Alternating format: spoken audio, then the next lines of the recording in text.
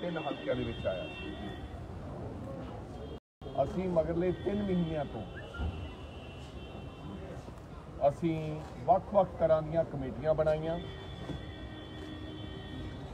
ਔਰ 18 ਕਿਸਮ ਦੀਆਂ ਕਮੇਟੀਆਂ ਬਣਾਈਆਂ, ਜਿਹਦੇ ਵਿੱਚ food committee accommodation committee mobilisation committee social media committee advertisement committee protocol committee Bharat Jodo Yatri coordination committee ਇਸ ਤਰ੍ਹਾਂ ਦੀਆਂ ਵੱਖ-ਵੱਖ 18 ਕਮੇਟੀਆਂ, ਜਿਨ੍ਹਾਂ ਦੇ ਵਿੱਚ ਉਹਨਾਂ ਦੇ ਕੋਆਰਡੀਨੇਟਰ ਤੇ ਸਬ ਕੋਆਰਡੀਨੇਟਰ ਮਗਰਲੇ 3 ਮਹੀਨਿਆਂ ਤੋਂ ਕੰਮ ਕਰ ਰਹੇ ਔਰ ਇਸੇ ਤਰ੍ਹਾਂ ਹੀ ਉਸ ਤੋਂ ਬਾਅਦ ਅਸੀਂ ਹਲਕਾ ਕੋਆਰਡੀਨੇਟਰਸ ਲਗਾਏ। ਹਲਕਾ ਕੋਆਰਡੀਨੇਟਰਸ ਨੇ ਜਾ ਕੇ ਵੱਖ-ਵੱਖ ਬਲਾਕਾਂ ਦੇ ਵਿੱਚ ਮੀਟਿੰਗਾਂ ਕੀਤੀਆਂ ਤੇ ਲੋਕਾਂ ਨੂੰ ਉਤਸ਼ਾਹਿਤ ਕੀਤਾ ਭਾਰਤ ਜੋੜੋ ਯਾਤਰਾ ਦੇ ਨਾਲ ਜੁੜਨ ਵਾਸਤੇ। ਸਾਨੂੰ ਹਰੇਕ ਤਕਰੀਬਨ ਤਕਰੀਬਨ 25 ਤੋਂ 50 ਲੋਕ ਇੱਕ ਹਲਕੇ ਤੋਂ ਭਾਰਤ ਜੋੜੋ ਯਾਤਰੀ ਹੁਣ ਤੱਕ ਸਾਡੇ ਕੋਲੇ 117 ਹਲਕਿਆਂ ਤੋਂ ਇਹ ਲਿਸਟਾਂ ਪਹੁੰਚ ਚੁੱਕੀਆਂ ਜਿਹੜਾ ਤਕਰੀਬਨ ਲਗਭਗ ਅੰਕੜਾ ਜਿਹੜਾ ਹੈਗਾ ਅੱਜ ਮੈਂ ਕੰਟਰੋਲ ਰੂਮ ਤੋਂ ਪੁੱਛਿਆ ਕਿ 6200 ਦੇ ਲਗਭਗ ਲੋਕ ਭਾਰਤ ਜੋੜੋ ਯਾਤਰਾ ਦੇ ਵਿੱਚ ਪਰਮਾਨੈਂਟ ਯਾਤਰੀ ਦੇ ਤੌਰ ਤੇ। ਜਿਨ੍ਹਾਂ ਨੇ ਆਪ ਦਾ ਨਾਂ, ਨੰਬਰ ਰਜਿਸਟ੍ਰੇਸ਼ਨ ਕਰਾਇਆ ਹੈ। ਔਰ ਇਹ ਭਾਰਤ ਜੋੜੋ ਯਾਤਰੀ ਜਿਹੜੇ ਨੇ, ਇਹ 25 ਕਿਲੋਮੀਟਰ ਜਿਹੜਾ ਹੈਗਾ, ਰਾਸਤਾ ਤਕਰੀਬਨ 24 ਤੋਂ 25 ਕਿਲੋਮੀਟਰ ਰੋਜ਼ ਦਾ ਤੈਅ ਕਰਿਆ ਕਰਨਗੇ। ਇਹ ਯਾਤਰਾ ਤਕਰੀਬਨ ਜਿਹੜਾ ਹੁਣ ਤੱਕ ਦਾ ਪੈਟਰਨ ਰਿਹਾ ਹੈ, ਸਵੇਰ ਮਾਰਨਿੰਗ 6 ਵਜੇ ਚੱਲਦੀ ਹੈ। ਤੇ 6 ਵਜੇ ਤੋਂ ਚੱਲ ਕੇ ਤਕਰੀਬਨ 13 ਤੋਂ 14 15 ਕਿਲੋਮੀਟਰ ਦਾ ਪੜਾਅ ਤੈਅ ਕਰਦੀ ਹੈ। ਯਾਨੀ ਕਿ 1 1 ਘੰਟੇ ਦੇ ਵਿੱਚ 5 ਕਿਲੋਮੀਟਰ ਦੀ ਰਫ਼ਤਾਰ ਦੇ ਨਾਲ ਇਹ ਯਾਤਰਾ ਚੱਲਦੀ ਹੈ। ਜਿਹਦੇ ਵਿੱਚ ਸਵੇਰ 15 ਕਿਲੋਮੀਟਰ ਦੀ ਯਾਤਰਾ ਦੇ ਵਿੱਚ 40 ਮਿੰਟ ਦੀ ਟੀ ਬ੍ਰੇਕ ਹੁੰਦੀ ਹੈ ਰਾਸਤੇ ਦੇ ਵਿੱਚ, ਉੱਤੇ ਹੀ ਸੜਕ ਤੇ ਜਿੱਥੇ ਵੀ ਯਾਤਰਾ ਚੱਲ ਰਹੀ ਹੋਈ। ਤੇ ਫਿਰ ਅਗਲਾ ਪੜਾਅ ਤੈਅ ਕਰਦੀ ਹੈ। ਉਸ ਤੋਂ ਬਾਅਦ ਲੰਚ ਦਾ ਸਮਾਂ ਹੁੰਦਾ ਹੈ ਰੈਸਟ ਦਾ ਸਮਾਂ ਹੁੰਦਾ ਹੈ, ਫਿਰ ਦੁਬਾਰਾ ਤਕਰੀਬਨ 3 ਵਜੇ ਯਾਤਰਾ ਸ਼ੁਰੂ ਹੁੰਦੀ ਹੈ। ਉਸ ਸਮੇਂ ਦਰਮਿਆਨ ਲੰਚ ਕੀਤਾ ਜਾਂਦਾ ਹੈ। ਪ੍ਰੈਸ ਕਾਨਫਰੰਸਿਸ ਸਾਡੇ ਵੱਖ-ਵੱਖ ਲੀਡਰ ਸਹਿਬਾਨ ਕਰਦੇ ਨੇ। ਰਾਹੁਲ ਗਾਂਧੀ ਜੀ ਦਾ 1 ਘੰਟੇ ਦਾ ਇੰਟਰੈਕਸ਼ਨ ਪ੍ਰੋਗਰਾਮ ਵੱਖ-ਵੱਖ ਲੋਕਾਂ ਦੇ ਨਾਲ, ਮਨਰੇਗਾ ਵਰਕਰਸ ਨਾਲ ਇੰਡਸਟਰੀਲਿਸਟ ਨਾਲ, ਹੋਰ ਬੁੱਧੀਜੀਵਾਂ ਨਾਲ। ਸੋ ਇਸ ਤਰ੍ਹਾਂ ਦੇ ਇੰਟਰੈਕਸ਼ਨ ਪ੍ਰੋਗਰਾਮ ਰੱਖੇ ਜਾਂਦੇ ਨੇ। ਫਿਰ ਅੰਤਿਮ ਜਿਹੜਾ 3 ਵਜੇ ਤੋਂ ਲੈ ਕੇ ਸ਼ਾਮ ਦੇ 6 ਵਜੇ ਤੱਕ, ਉਹ ਜਿਹੜਾ ਰਹਿੰਦਾ 10 ਕਿਲੋਮੀਟਰ ਜਾਂ 11 ਕਿਲੋਮੀਟਰ ਦਾ ਪੜਾਅ ਹੁੰਦਾ ਹੈ ਯਾਤਰਾ ਤੈਅ ਕਰਨੀ। ਅਕੋਮੋਡੇਸ਼ਨ ਇਹਦੇ ਵਿੱਚ ਰਾਹੁਲ ਗਾਂਧੀ ਜੀ ਜਿੱਥੇ ਰਾਤ ਨੂੰ ਯਾਤਰਾ ਰੁਕੇਗੀ, ਅਗਲੇ ਦਿਨ ਰਾਹੁਲ ਗਾਂਧੀ ਜੀ ਉਸੇ ਕੈਂਪ 'ਚ ਰਹਿੰਦੇ ਨੇ। ਦੇਸ਼ ਦੇ ਵੱਖ-ਵੱਖ ਸੂਬਿਆਂ ਤੋਂ ਜਿਹੜੇ 180 ਦੇ ਕਰੀਬ ਭਾਰਤ ਜੋੜੋ ਯਾਤਰੀ ਮਗਰਲਾ 2500 ਕਿਲੋਮੀਟਰ ਦਾ ਪੜਾਅ ਤੈਅ ਕਰਕੇ ਆ ਰਹੇ ਨੇ।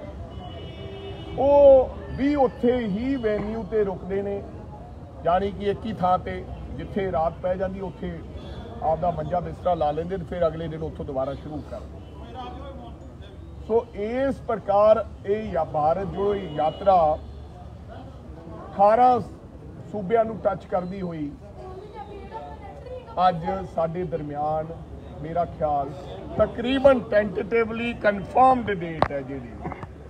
ਉਹ 11 ਤਰੀਕ ਨੂੰ ਸ਼ਾਮ ਨੂੰ ਅਸੀਂ ਭਾਰਤ ਜੋੜੋ ਯਾਤਰਾ ਨੂੰ ਪੰਜਾਬ ਦੇ ਵਿੱਚ ਐਂਟਰ ਹੋਏਗੀ।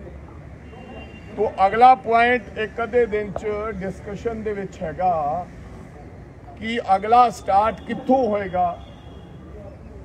ਸੋ ਕਈ ਚੀਜ਼ਾਂ ਉਹਦੇ ਵਿੱਚ ਮੱਦੇਨਜ਼ਰ ਰੱਖਦੇ ਹੋਏ ਕੁਝ ਰਾਹੁਲ ਗਾਂਧੀ ਜੀ ਦੀਆਂ ਭਾਵਨਾਵਾਂ ਪੰਜਾਬ ਦੇ ਪ੍ਰਤੀ ਹਨ, ਪੰਜਾਬ ਦੇ ਲੋਕਾਂ ਪ੍ਰਤੀ ਹਨ।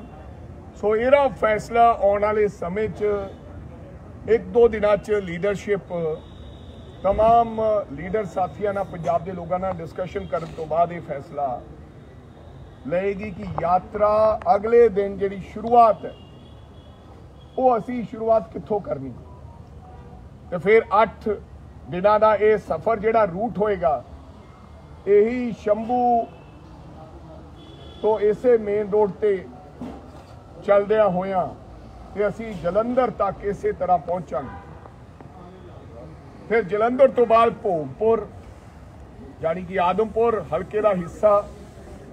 ਫਿਰ ਮੁਕੇਰੀਆਂ, ਹੁੰਦੀ ਹੋਈ ਇਹ ਯਾਤਰਾ ਪਠਾਨਕੋਟ ਤੇ ਪਠਾਨਕੋਟ ਤੋਂ ਮਾਧੋਪੁਰ।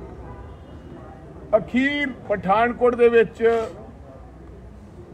ਲੀਡਰਸ਼ਿਪ ਦੀ ਇਹ ਸਲਾਹ ਹੈ ਸਾਡੇ ਕਾਂਗਰਸ, ਪੰਜਾਬ ਦੇ ਲੋਕਾਂ ਦੀ ਸਾਰਿਆਂ ਦੀ, ਕਿ ਅਸੀਂ ਉੱਥੇ ਵੀ ਇੱਕ ਵੱਡਾ ਅਖੀਰ ਉੱਥੇ ਰੈਲੀ ਕਰਕੇ ਉਹਨਾਂ ਦਾ ਸਵਾਗਤ ਕਰਕੇ ਤੇ ਅੰਤਿਮ ਫਿਰ ਪੜਾ ਕਸ਼ਮੀਰ ਵੱਲ ਅਸੀਂ ਉਹਨਾਂ ਨੂੰ ਯਾਤਰਾ ਜਿਹੜਾ ਤਿਰੰਗਾ ਝੰਡਾ ਉਸ ਸਾਹਿਬ। ਸੋ ਇਹਦੇ ਵਾਸਤੇ ਅਸੀਂ ਮਿਸਡ ਕਾਲ ਨੰਬਰ ਵੀ ਜਾਰੀ ਕੀਤਾ ਹੈ। ਮਿਸ ਕਾਲ ਨੰਬਰ ਹੈ 83022 11116 ਔਰ ਇਹਦੇ ਰਾਹੀਂ ਲੋਕ ਸਾਨੂੰ ਮਿਸ ਕਾਲ ਦੇ ਨੰਬਰ ਦੇ ਰਾਹੀਂ ਵੀ ਲੋਕ ਜੁੜ ਰਹੇ ਨੇ। ਹੁਣ ਤੱਕ 3300 ਦਾ ਆંકੜਾ ਜਿਹੜਾ ਰੈਂਡਮ ਲੋਕ ਹੈ, ਯਾਨੀ ਕਿ ਆਮ ਲੋਕ ਜਿਨ੍ਹਾਂ ਦਾ ਕਾਂਗਰਸ ਨਾਲ ਤਾਲੁਕਾਤ ਨਹੀਂ ਹੈ, ਉਹ ਵੀ ਇਹਦੇ ਚ ਆਪਦਾ ਰਜਿਸਟ੍ਰੇਸ਼ਨ ਕਰਾ ਚੁੱਕੇ ਨੇ। ਮਿਸ ਕਾਲ ਤੋਂ ਬਾਅਦ ਐਸਐਮਐਸ ਜਾਂਦਾ ਤੇ ਸਾਡਾ ਦਫ਼ਤਰ ਫਿਰ ਉਹਨਾਂ ਨਾਲ ਟਾਈ ਅਪ ਕਰਕੇ ਰਜਿਸਟ੍ਰੇਸ਼ਨ ਕਰਦਾ ਸੋ ਮੈਂ ਹੁਣ ਤੱਕ ਤਕਰੀਬਨ ਤਕਰੀਬਨ 80 ਮੀਟਿੰਗਸ ਜਿਹੜੀਆਂ ਭਾਰਤ ਜੋੜੋ ਯਾਤਰਾ ਨੂੰ ਲੈ ਕੇ ਅੱਜ ਵੀ ਮੇਰੀਆਂ ਤਿੰਨ ਮੀਟਿੰਗਸ ਸਨ ਹੁਣ ਤੱਕ ਕਰ ਚੁੱਕਿਆ ਹੈ ਸੋ ਅੱਗੇ ਵੀ ਮੈਨੂੰ ਪੂਰਨ ਉਮੀਦ ਹੈ ਕਿ ਆਉਣ ਵਾਲੇ 10-12 ਦਿਨਾਂ ਦੇ ਵਿੱਚ ਅਸੀਂ तमाम ਹਲਕਿਆਂ ਦੇ ਵਿੱਚ ਆਪਦੀਆਂ ਮੀਟਿੰਗਸ ਮੁਕੰਮਲ ਕਰ ਲਵਾਂਗੇ ਇਵੇਂ ਹੀ ਸਾਡੇ ਡਿਸਟ੍ਰਿਕਟ ਦੇ ਜਿਹੜੇ ਇੰਚਾਰਜ ਸਹਿਬਾਨ ਸੀ ਅੱਜ ਜਿਵੇਂ ਚੱਬੇਵਾਲ ਸਾਹਿਬ ਆਏ ਬਾਈ ਉਹਨਾਂ ਨੇ तमाम ਹਲਕਾ ਵਾਈਜ਼ ਮੀਟਿੰਗਸ ਕਰਕੇ ਤੇ ਫਿਰ ਪ੍ਰੈਸ ਕਾਨਫਰੰਸਸ ਨੂੰ ਮੀਡੀਆ ਨੂੰ ਵੀ ਸੰਬੋਧਨ ਕੀਤਾ ਸੋ ਮੈਨੂੰ ਪੂਰਨ ਉਮੀਦ ਹੈ ਕਿ ਇਸ ਭਾਰਤ ਜੋੜੋ ਯਾਤਰਾ ਦਾ ਜਿਹੜਾ ਉਤਸ਼ਾਹ ਹੈ, ਉਹ ਦੇਸ਼ ਭਰ ਦੇ ਵਿੱਚ ਬਹੁਤ ਵੇਖਣ ਨੂੰ ਮਿਲਿਆ। ਔਰ ਮੈਂ ਉਮੀਦ ਕਰਦਾ ਔਰ ਮੈਂ ਪੰਜਾਬੀਆਂ ਨੂੰ, ਪੰਜਾਬ ਦੇ ਲੋਕਾਂ ਨੂੰ, ਸਾਰੇ ਧਰਮਾਂ ਦੇ ਲੋਕਾਂ ਨੂੰ, ਸਾਰੀਆਂ ਪਾਰਟੀਆਂ ਦੇ ਲੋਕਾਂ ਨੂੰ, ਮੈਂ ਅੱਜ ਇਹ ਸੱਦਾ ਦਿੰਦਾ ਕਿ ਆਓ, ਇਹ ਭਾਰਤ ਜੋੜੋ ਯਾਤਰਾ ਜਿਹੜੀ ਹੈਗੀ ਹੈ ਜਿਹਦਾ ਮਕਸਦ ਹੈ ਕਿ ਭਾਰਤ ਦੇ ਸੰਵਿਧਾਨ ਨੂੰ ਬਚਾਉਣਾ ਹੈ। ਜਾਂ ਦੇਸ਼ ਵਿਰੋਧੀ ਤਾਕਤਾਂ ਨਾਲ ਲੜਨਾ ਹੈ, ਮਹਿੰਗਾਈ ਔਰ ਬੇਰੋਜ਼ਗਾਰੀ ਨਾਲ ਲੜਨਾ ਹੈ। ਔਰ ਆਪਸ ਵਿੱਚ ਜਿਹੜਾ ਭਾਈਚਾਰਾ ਦੇਸ਼ ਦਾ ਖਰਾਬ ਹੋ ਰਿਹਾ ਹੈ, ਉਹਨੂੰ ਅਸੀਂ ਇਕੱਠਾ ਕਰਕੇ ਰੱਖਣਾ ਹੈ। ਆਓ ਅੱਜ ਜ਼ਰੂਰਤ ਹੈ ਇਸ ਮਕਸਦ ਦੇ ਨਾਲ ਤਿਰੰਗਾ ਝੰਡਾ ਫੜ ਕੇ ਰਾਹੁਲ ਗਾਂਧੀ। ਮਗਰਲੇ ਮੇਰਾ ਖਿਆਲ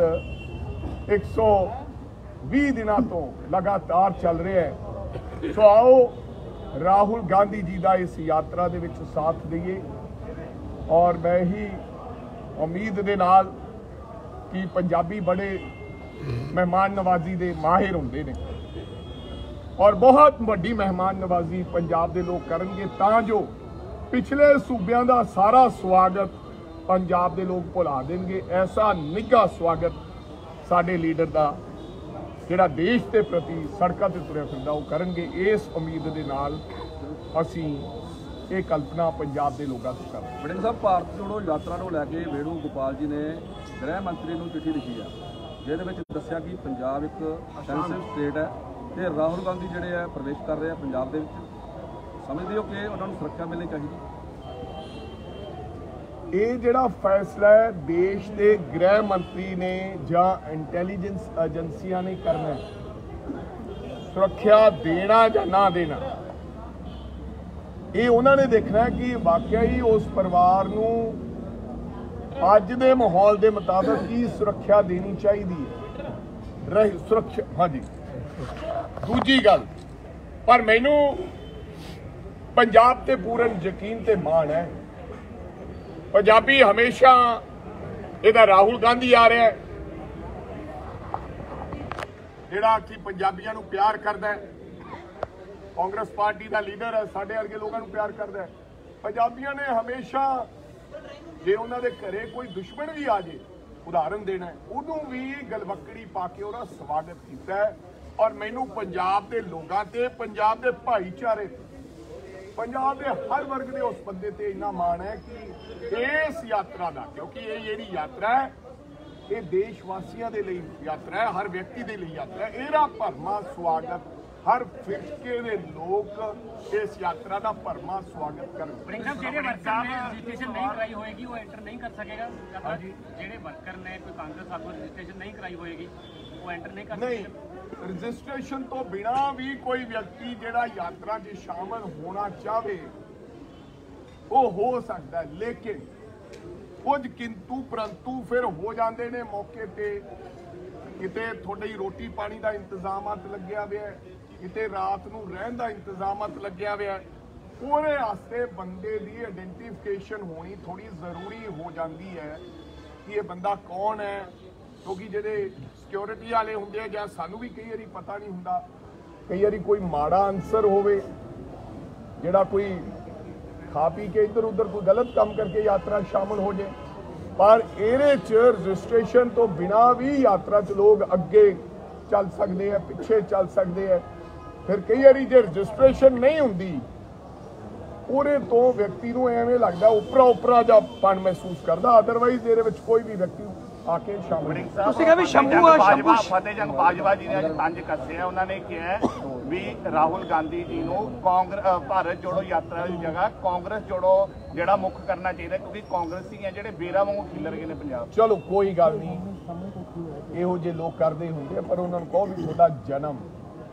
ਤੇ ਤੁਹਾਨੂੰ ਰਾਜਨੀਤੀ ਦੀ ਊੜਾ ਆੜਾ।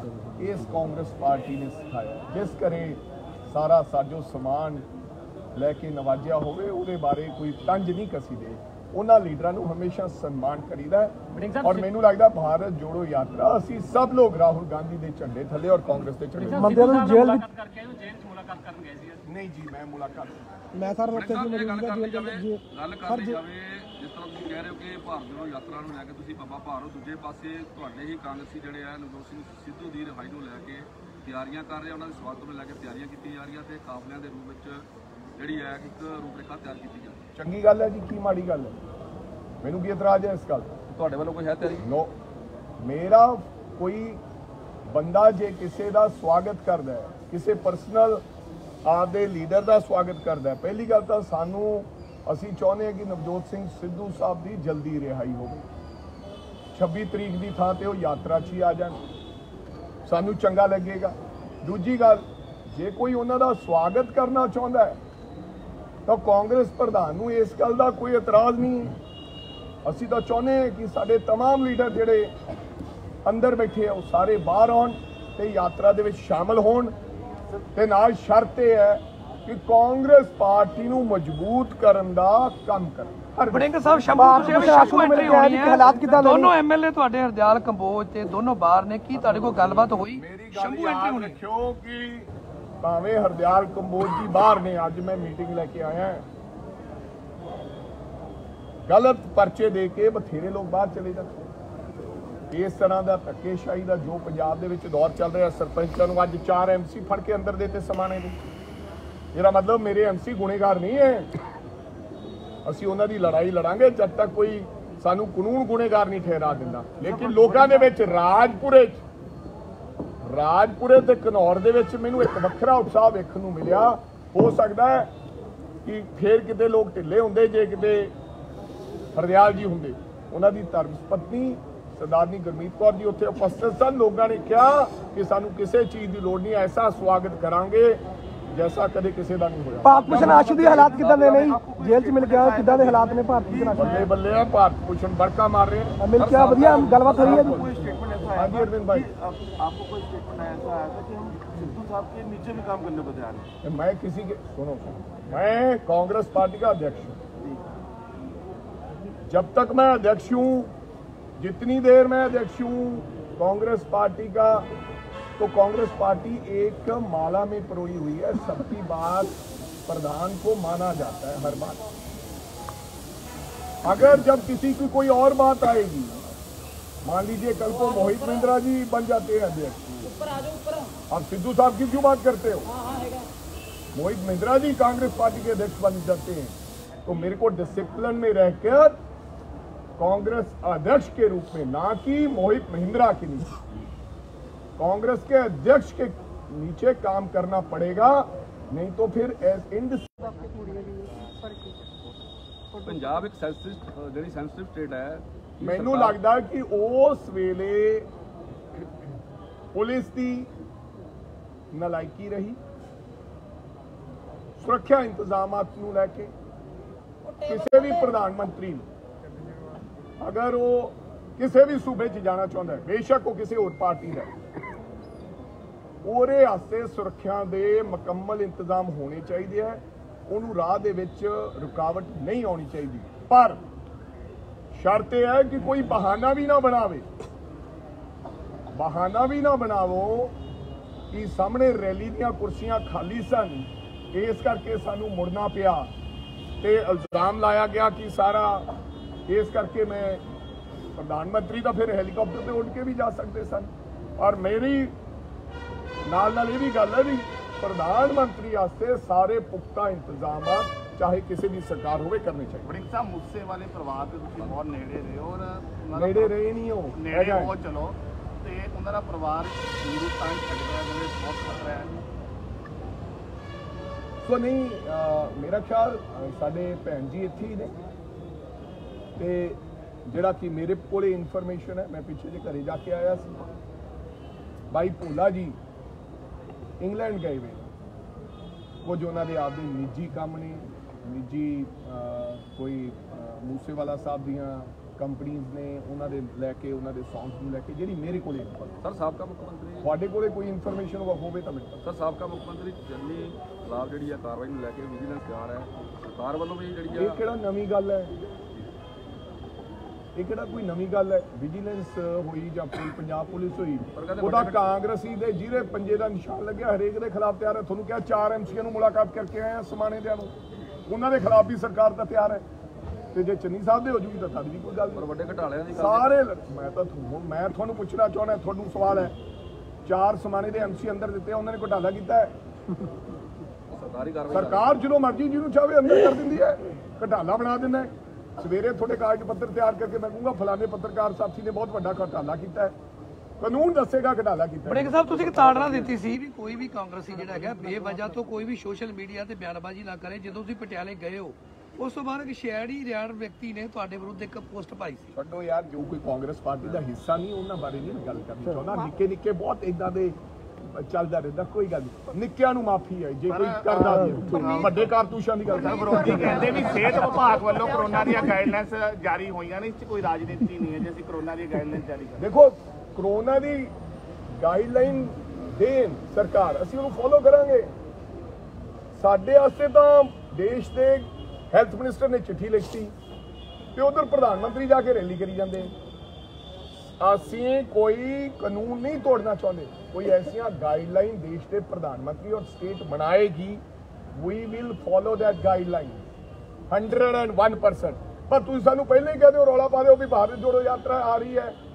ਲੱਤਾਂ ਕੰਮੀ ਜਾਂਦੀਆਂ ਸਰਕਾਰ ਦੀਆਂ ਕਿ ਨਹੀਂ ਨਹੀਂ ਕਰੋਨਾ ਆ ਗਿਆ ਕਰੋਨਾ ਆ ਗਿਆ तमाम ਡਾਕਟਰ ਸਾਹਿਬਾਨ ਬੁੱਧੀਜੀਵ ਕਹਿ ਰਹੇ ਵੀ ਕਿਸੇ ਪ੍ਰਕਾਰ ਦਾ ਕੋਈ ਖਤਰਾ ਨਹੀਂ ਹੈ ਸਾਨੂੰ ਗਾਈਡ ਸਾਨੂੰ ਗਾਈਡਲਾਈਨ ਜਾਰੀ ਕਰੇ ਅਸੀਂ ਉਹ ਗਾਈਡਲਾਈਨ ਮੰਨਾਂਗੇ ਉਹੀ ਸਾਡੇ ਵਾਸਤੇ ਹੋਣੀਆਂ ਉਹੀ ਪੰਜਾਬ ਦੇ ਮੁੱਖ ਮੰਤਰੀ ਵਾਸਤੇ ਹੋਣੀਆਂ ਉਹੀ ਦੇਸ਼ ਦੇ ਪ੍ਰਧਾਨ ਮੰਤਰੀ ਵਾਸਤੇ ਹੋਊਗਾ ਅਸੀਂ ਗਾਈਡ पंडित कौर को कोई सद्दा दिया गया कौन सा सद्दा काहे को सद्दा क्यों अरे भैया मैंने पचास बार बोल दिया लगता है परनीत कौर जी के पकौड़े आप बहुत खाते हैं मैंने आपको कह दिया मेरा सवाल ये है मैंने आपको कह दिया है कि आदरणीय Preneet Kaur ji being a lady I respect him she is like a mother to me मेरी माँ के बराबर है मैं उनके अपमानजनक शब्द उनके लिए नहीं कुछ कह सकता लेकिन ਮੈਂ ਇਹ ਕਹਿਣਾ ਚਾਹੁੰਦਾ ਕਿ ਉਹ ਹੁਣ ਕਾਂਗਰਸ ਪਾਰਟੀ ਦਾ ਹਿੱਸਾ ਨਹੀਂ ਹੈ ਹੁਣ ਕੁਝ ਲੋਕ ਕਹਿ ਦਿੰਦੇ ਆ ਕਿ ਇਹ ਤਾਂ ਪਹਿਲਾਂ ਸੁਣੋ ਹੁਣ ਕੁਝ ਲੋਕ ਕਹਿ ਦਿੰਦੇ ਕਿ ਨਹੀਂ ਹਿੱਸਾ ਕਿਉਂ ਨਹੀਂ ਹਿੱਸਾ ਹਿੱਸਾ ਹੀ ਹੈ ਹੁਣ ਧੱਕੇ ਨਾਲ ਕੋਈ ਮਾਮਾ ਬਣਿਆ ਫਿਰੇ ਤਾਂ ਮੈਂ ਕੀ ਕਰਾਂ